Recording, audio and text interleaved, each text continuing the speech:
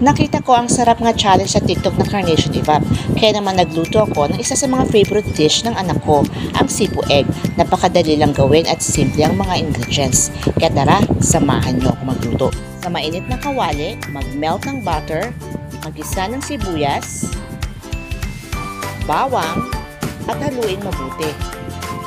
Idagdag ang chicken ham at ang mixed vegetables. Season with pepper and salt. And mix well.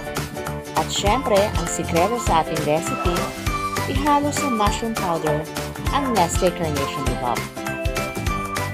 At ibuhos sa pinagsamang ingredients natin kanina. Ilagay ang quail eggs, haluin mabuti, at lagyan natin ng Nestle All-Purpose Cream. Mmm! Ang creamy! Ang sarap nga kapag may Nestle Carnation Evap. Totoo nga ang balita, ang sarap nga basta may Nestle Carnation Evap. Share nyo na din ang recipe nyo na na-discover nyo na ang hashtag ang sarap nga kapag may Nestle Carnation Evap. Enjoy the hashtag challenge here on TikTok